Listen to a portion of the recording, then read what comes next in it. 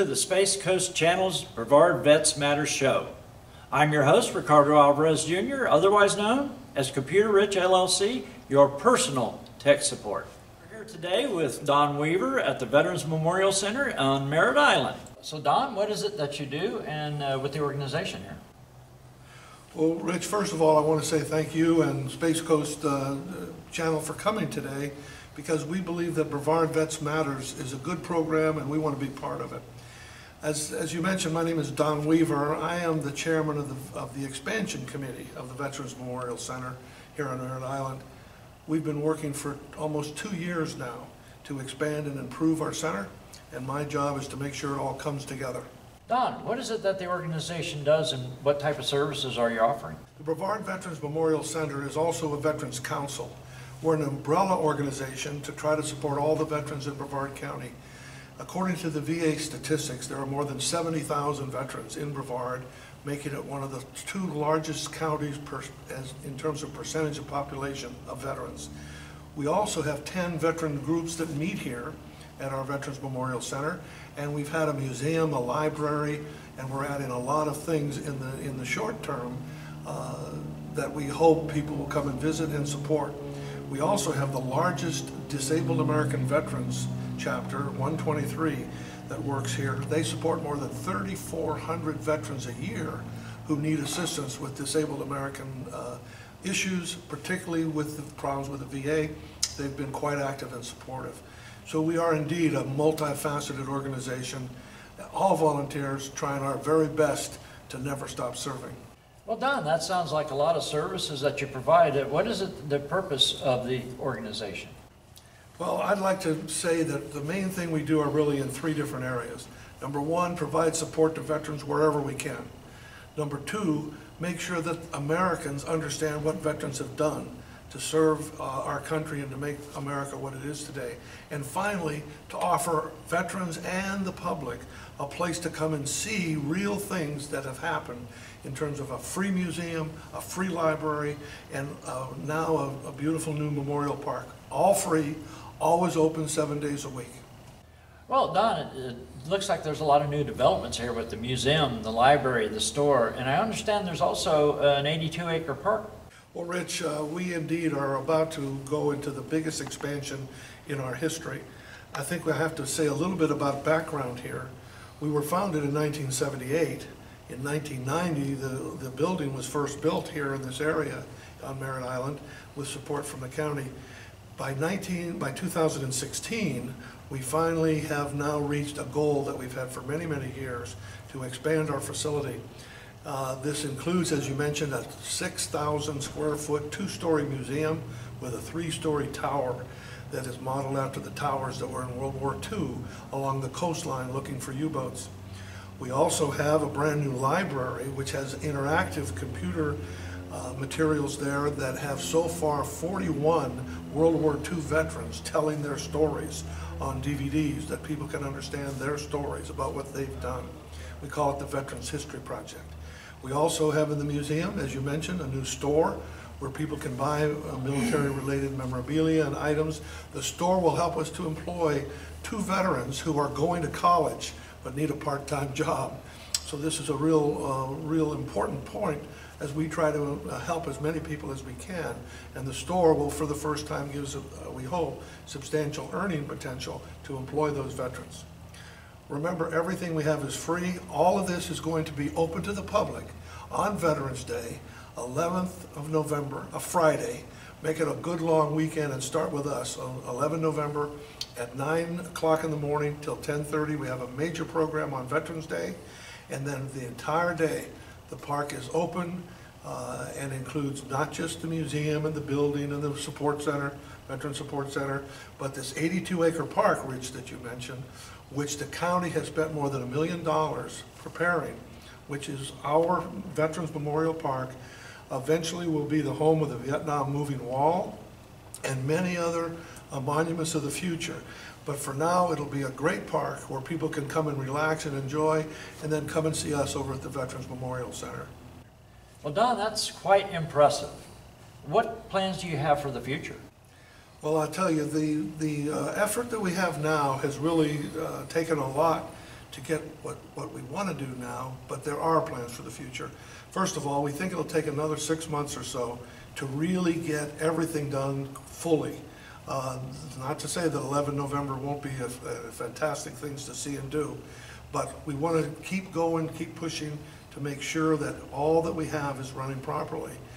And of course, we also, though, will be in the process of trying to see what more we can do to support veterans. We'll be looking at uh, different programs with the county, with the VA, with other foundations to try to get more support to veterans in need in our county. And we'll also be looking at schools. We'd love to have schools come on regular field trips to join and see the museum. We also have a Veterans Back to Class program that last year spoke to more than 3,500 students in Brevard in 17 schools. We want to expand that because the youth of America has to realize what veterans have done. And in fact, remember, Rich, and I know you know this already, but only half of 1% of our population today is in uniform. So it's a responsibility of veterans, in our opinion, to make sure America knows and understands what veterans have done, and to make sure that those young men and women uh, who graduate from high school know there's a shot for them, and we need them to step up to join the military for those who want to do so. Well, Don, those are great facilities, and I was just wondering what type of organizations can use it and what would be the cost to do so? Rich, that's a good question.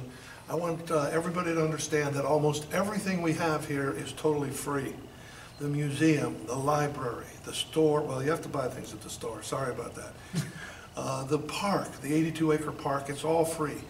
All of the things after our grand opening on November 11th will be open every day of the week, uh, including weekends, from 8 o'clock in the morning till 4:30 at night. The park will be open from dawn to dusk.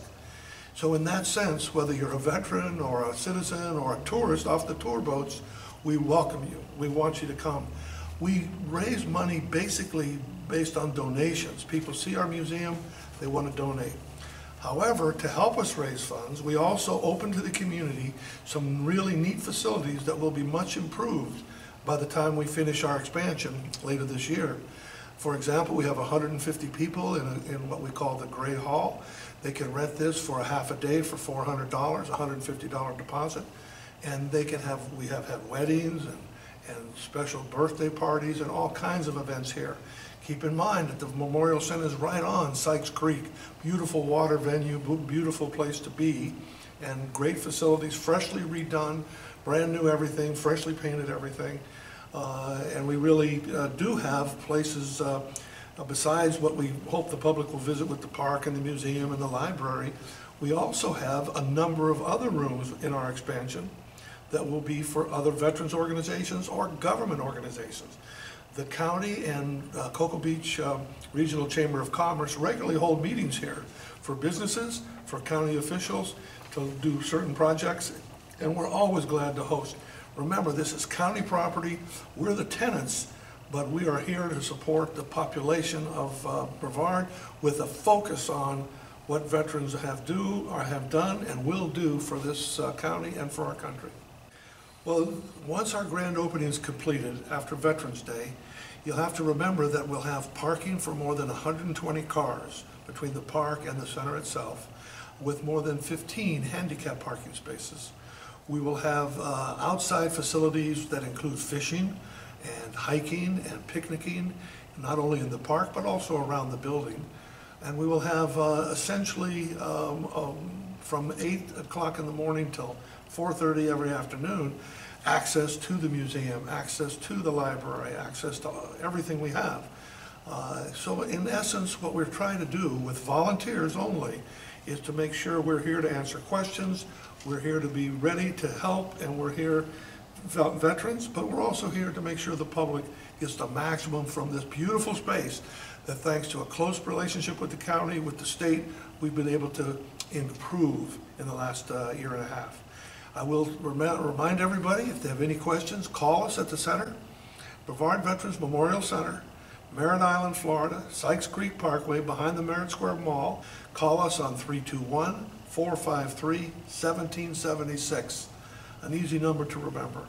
Remember, we are open on weekends, we are open to the public all the time outdoors.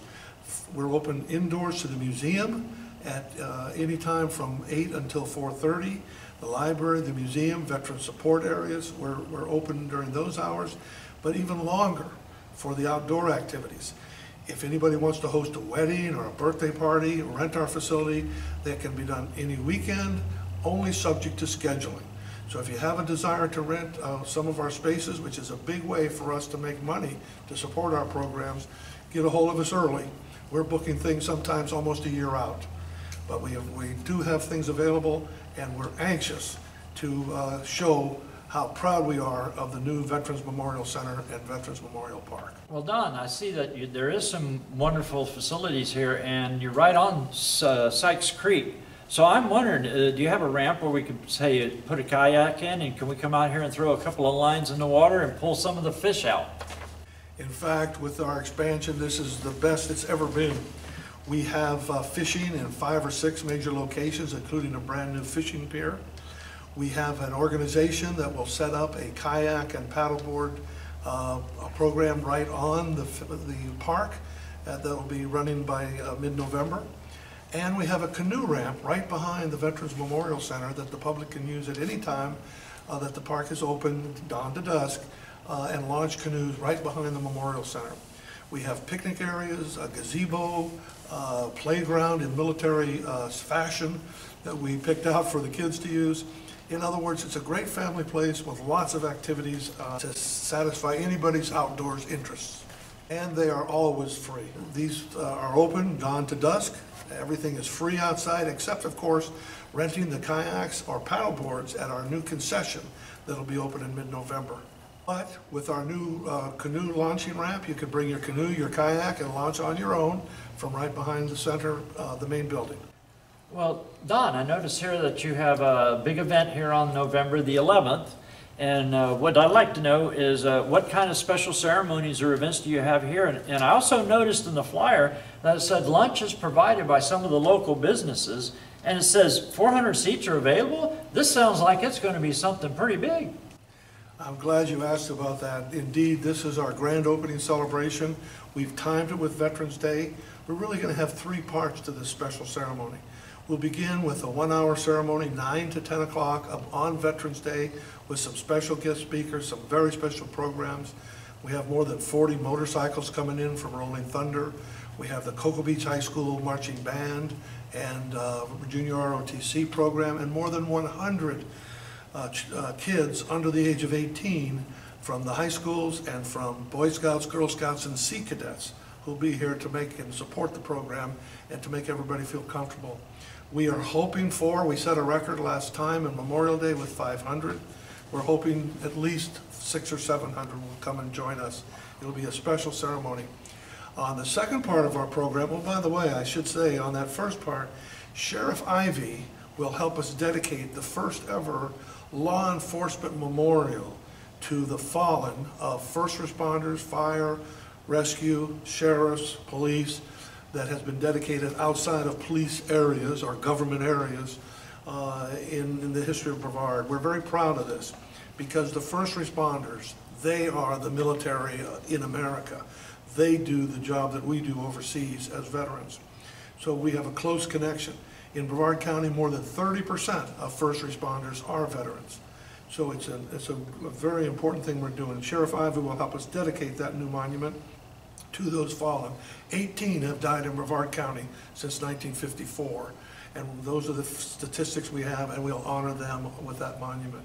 The second part of our ceremony, lasting about a half an hour, will include speakers from the state, county, and Jack Masson, the Director of Parks and Recreation, who will talk about the entire expansion and how we've been a, a team of, to develop with the community, with the government, the community, veterans organizations, the general public, as a team effort has come together to put together this expansion program in kind of unique and very uh, effective ways over the last couple of years.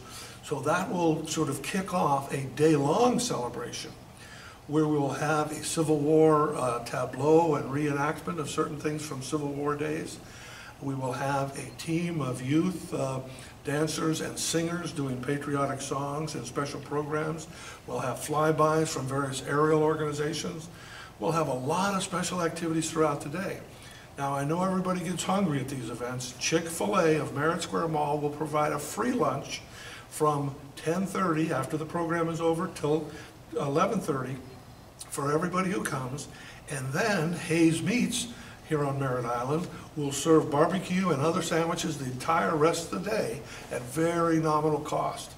So that you'll always be able to eat and drink throughout the, the entire day uh, here at the Brevard Veterans Memorial Center, Veterans Day, 11th of November, beginning at 9 o'clock till 10:30 for the ceremonies, and then to enjoy the facilities and see everything that we've worked so hard with so many people helping us to create uh, the rest of the day until 4:30. You just really realize the importance, such as your organization, of spreading the word. And in the digital age, this is a great way to do it.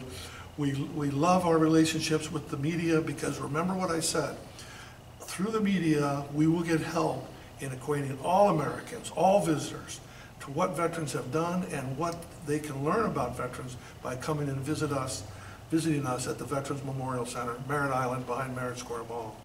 Well, Don, I appreciate that. Loo- looking at the Veterans Voice, I'm wondering, as uh, Space Coast Channel, Brevard uh, Vets Matters show, would uh, sponsorships or uh, other businesses be available to support what we're doing? Rich, as a matter of fact, we've already had 67 businesses from Brevard County come forward to help us with the expansion project. We try to help them with some sponsorship, listing their names at various events, etc. But Space Coast Channel uh, Vets uh, Matters, uh, it would be an excellent place for them to have recognition for their support and, and, uh, and sponsor more programs as we go forward.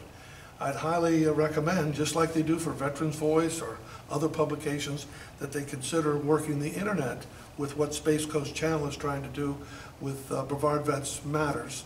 And we would be happy to uh, lead anybody in that direction. Well, Don, I want to thank you for being on Space Coast Channel's Brevard Vets Matters show today. And uh, be happy to come back once you have the museum up and we can take a, a, a nice look at the museum and see how you have that organized. We'd love that. We've, I've really enjoyed it today. It's been an opportunity for us to let more people understand what we're doing. And thank you very much to Space Coast Channel, Brevard Vets Matters, for coming and for caring. Awesome. Thank you much. Well, this is uh, Ricardo Alvarez Jr., your host at the Veterans Memorial Center, and we hope that you'll come back and visit us next week on Space Coast Channel's Brevard Vets Matters Show.